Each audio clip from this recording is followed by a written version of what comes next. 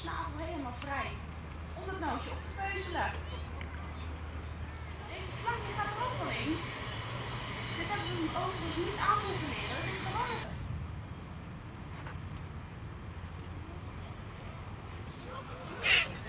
een hele mooie geelbruine nek. En de vrouwtjes hebben namelijk een zwarte nek.